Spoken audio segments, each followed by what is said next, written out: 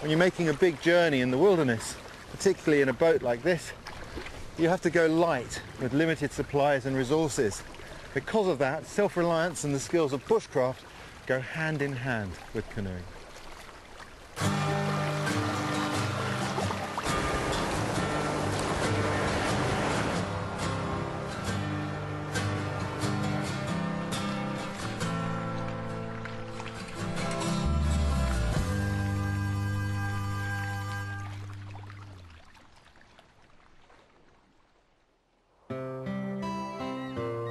This is the Missinaibi River in Canada. Today it's a majestic wilderness river in one of my favourite of all environments. But 300 years ago, it was an arterial trade route that helped fuel the fur trade and put the country of Canada on the world map.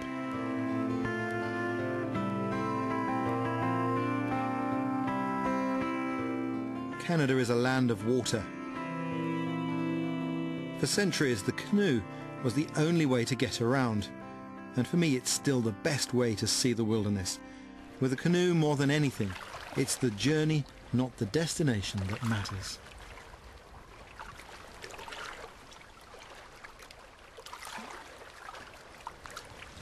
I just think it's fantastic to come out into a place as wild as this.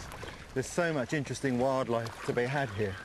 But um, there are also the occasional opportunity to surprise the cameraman, who in this occasion has to face towards me. And he can't see that behind him, I just turned the boat around, there's a moose.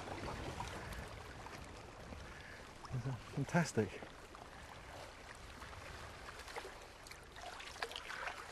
I've always wanted to paddle the great fur trade rivers.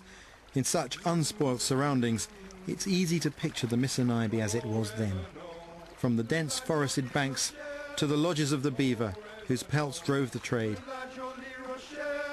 300 years ago, huge canoes would have ploughed up and down this river, taking goods to the far-flung trappers in the north and returning with the valuable furs before the winter freeze. Stories of the men who paddled those canoes have always fascinated me, and none more so than those of the voyageurs, the hardiest of them all.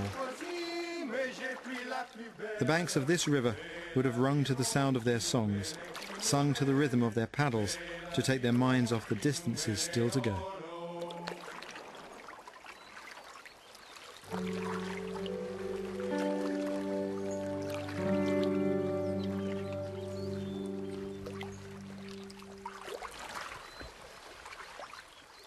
In the spirit of the voyageurs, I was paddling an old-style traditional canoe, a cedar and canvas prospector. The natural materials seemed to suit this place.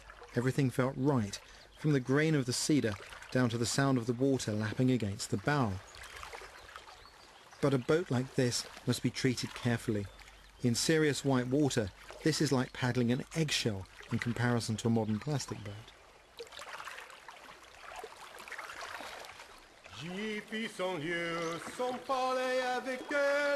On a good day's paddling, I expect to cover many miles. But the fur traders would always start their journeys with a short day.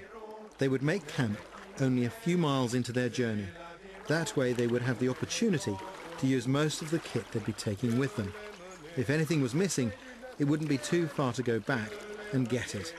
It was known as the Hudson's Bay Start. It's a practice I employ too, but before I looked for a campsite, I had a small rapid to negotiate. The river's picking up speed here. I love that. It's the rapids that provide the excitement on a journey like this. But this wasn't whitewater rafting. These canoes are open and you need to treat even minor rapids with respect.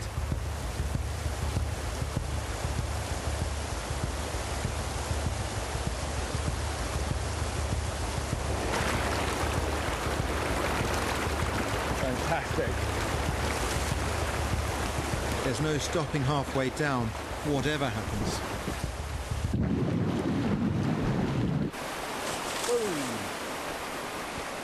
That's why it's essential to carry a spare puddle.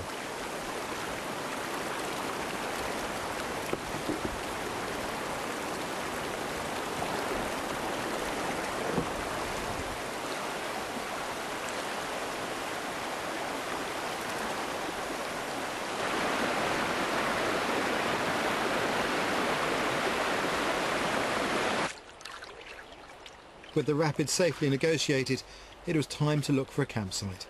I made sure I was off the river long before dark.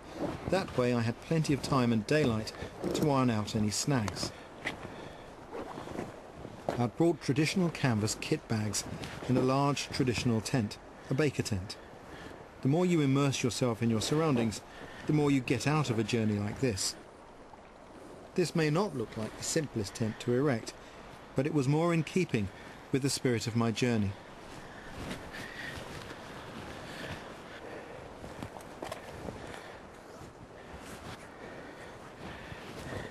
This is where the tent really scores. It doubles as your tarp. Fantastic piece of kit, giving you not only a sleeping space, but a living space if the weather's bad.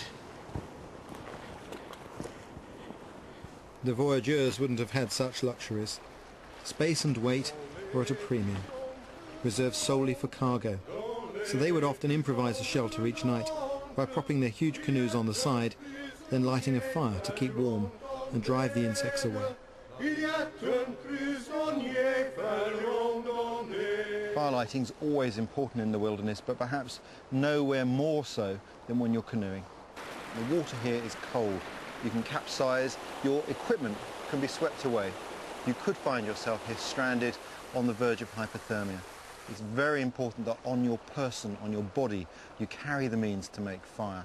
And in this environment, that means a knife and a device for creating sparks, because that's the most reliable when it's wet. Doesn't matter if I soak this, it will still give me fire. And here, this part of the river, there's plenty of birch. We can use the birch bark to start our fire. We just shave up some fine shavings from the bark. The underlayers will be dry and we strike a spark down into there which catches fire. Plenty of birch bark to get the fire going.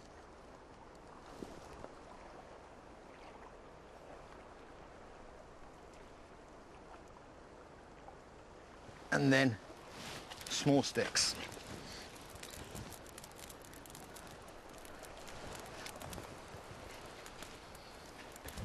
While the fire is lighting up, your knife goes back where it belongs and your fire lighting equipment goes back securely fastened to your person so that you don't put it down and lose it.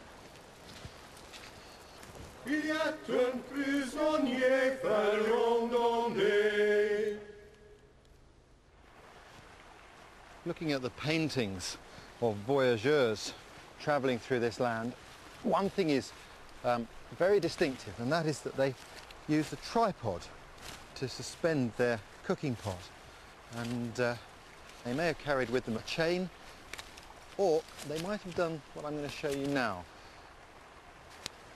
Put your knife away. It's always important to put your knife away, I tell you, especially when there are mosquitoes or biting flies around because they're very distracting. It's very easy to cut yourself. I've already got a scar. I made that mistake many years ago. What I'm going to do now is I need to make the top part of this um, stick flexible. I'm not going to make it all flexible, but I'll explain why in a minute. First thing is to twist the fibers so they pop like that. They're just loosening there. And I'm going to use these little side branches to help me loosen that as I work my way up the stick towards the growing tip.